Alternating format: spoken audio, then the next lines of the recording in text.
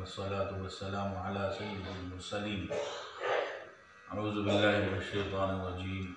قال الله تبارك وتعالى في كلامه المجيد ولنبلونكم بشيء من الخوف والجوع ونقص من الأموال والأنفس والثمرات وبشر الصابرين. میرے محترم بھائیو اس وقت پوری دنیا میں ایک عالمی وبا پھیلی ہوئی ہے، جس کا نام کرونا وائرس ہے۔ اور دنیا کے اکثر ممالک اس وبا کے زیر اثر ہیں۔ سعودی عرب میں بھی عمرے بند کر دیے گئے ہیں۔ اور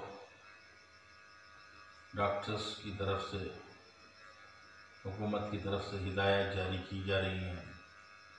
یہ وائرس کے بارے میں پتہ چلا ہے کہ آپسی میل جول اور اختلاط سے زیادہ پھیلتا ہے۔ یہ وبائی امراض یا پریشانیاں یا آزمائشیں سب اللہ کی طرف سے آتی ہیں۔ اللہ فرماتا ہے قرآن میں کہ ہم تمہیں آزمائیں گے۔ اچھے حالات سے بھی اور برے حالات سے بھی۔ اور دوسری جگہ فرماتا ہے کہ ہم تمہیں آزمائیں گے۔ وَلَنَبْلُوَنَّكُمْ بِشَيْءٍ مِّنَ الْخَوْفِ وَالْجُوعِ، خوف سے بھی، ڈر سے بھی، بھوک سے بھی، اجناس کی کمی سے بھی، غلے کی کمی سے بھی۔ ان سب چیزوں سے حالات انسانوں کے اوپر آئیں گے۔ پھر ان حالات کے بارے میں اللہ فرماتا ہے جب یہ حالات آئیں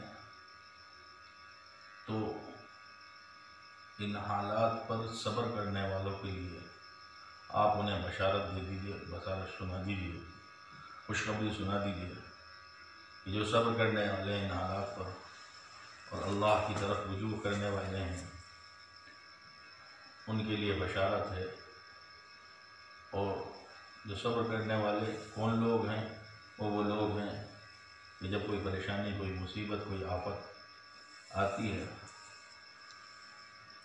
تو وہ کہتے ہیں، انا للہ انا الیہ راجعون سب طرح کے حالات اللہ کی طرف سے آتے ہیں اور ہم سب اللہ کی طرف لوٹ کر جانے والے ہیں۔ آج کل سوشل میڈیا پر ہر کوئی ان حالات کے بارے میں ویڈیو ڈال رہا ہے، پوسٹ ڈال رہا ہے، لکھ کر کے اپنی اپنی رائے اور مشورے دے رہا ہے۔ کل جمعہ بھی ہے، جس کے لیے اجتماعی طور پر جمعہ کی نماز مسجد میں ہونی ہے۔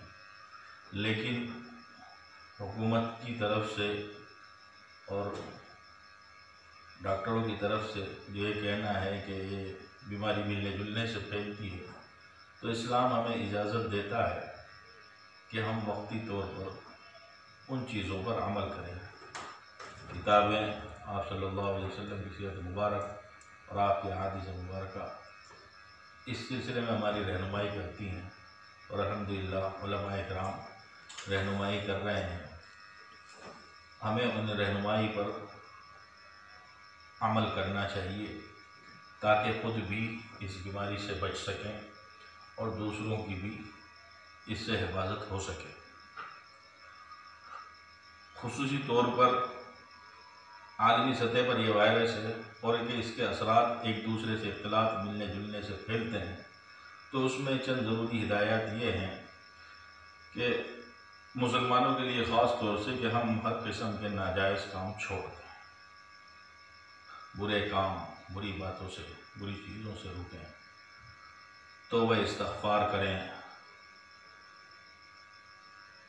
اور حکومت کی طرف سے جو وقتی ہدایات ہیں، اس پر عمل کریں۔ کہیں بھیڑ نہ لگائیں، نہ بھیڑ کا حصہ بنیں۔ لوگوں سے تھوڑا دوری بنا کے رکھیں۔ وقتی طور پر محسافے معانقے سے، گلے ملنے سے پرہیز کریں۔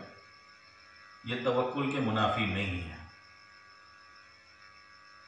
اور اسی طریقے سے لگاتار مسلسل صدقہ و خیرات کرتے رہیں کیونکہ صدقہ اور خیرات بلاؤں کو ٹالتی ہے۔ اپنے مسلمان بھائی، اپنے ساتھ برادران وطن جو رہ رہے ہیں، ان کی بھی مدد کریں، ان کی بھی حال چال، احوال کی فکر کریں۔ دوسری بات کہ اس وقت کل جمعہ ہے اور جمعہ کے لیے ہر انسان پریشان ہے کہ اس میں کیا کریں۔ فقہ کے اصول میں سے ہے کہ جمعہ کے لیے ایک امام اور تین آدمی کے لیے ہونا کافی ہے۔ اسی طریقے سے جب حکومت کی طرف سے وقتی ہدایت یہ جاری کی گئی ہے کہ مسجدوں میں باجماعت نماز نہ پڑھیں، کیونکہ باجماعت جب ہم نماز پڑھیں گے جا کر، بھیڑ لگائیں گے تو وہ وائرس جو پھیلا ہوا ہے، وہ ایک دوسرے سے اختلاط کی وجہ سے دوسرے کے اندر منتقل ہو سکتا ہے۔ تو اس لیے میری تمام بھائیوں سے درخواست ہے کہ مسجدوں میں نماز جمعہ ادا نہ کر کے اپنے گھروں پر، بڑی جگہوں پر جہاں دو چار آدمی ہوں، وہاں مختصر سا خطبہ اور مختصر سی چھوٹی چھوٹی صورتیں پڑھ کے جمعہ کی نماز ادا کرنا ہے۔ اور اگر تنہائی میں یہ تنہا ہے تو ظہر کی نماز تنہا پڑھیں۔ باقاعدہ مسجدوں میں بھیڑ نہ لگائیں۔ کیونکہ علماء کرام نے بہت ساری ہدایت جو جاری کی ہیں، ان میں یہ بھی ہے اور مسئلے مسائل بھی باقاعدگی سے واٹس ایپ پر اور گروپ پر اور اشتہار کے ذریعے سے لوگوں تک پہنچائے جا رہے ہیں کہ اپنے گھروں میں ظہر کی نماز تنہا پڑھیں اور اگر گھر میں چار پانچ لوگ ہیں تو وہ مل کر کے ایک ان میں تھوڑا سا پڑھا لکھا ہو تو وہ جمعہ کی نماز پڑھا سکتا ہے، چھوٹا سا خطبہ پڑھ کے اور چھوٹی چھوٹی آیتیں صورتیں پڑھ کر جمعہ کی نماز پڑھا سکتا ہے۔ اس سے جمعہ ادا ہو جائے گا۔